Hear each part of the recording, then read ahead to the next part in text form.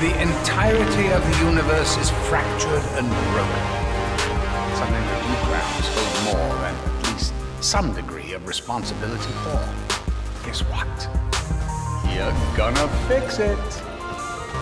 Look, just do what you usually do. Listen out for radios and things.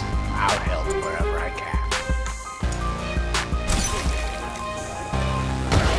Hope you like being. Actually, I don't really care either way.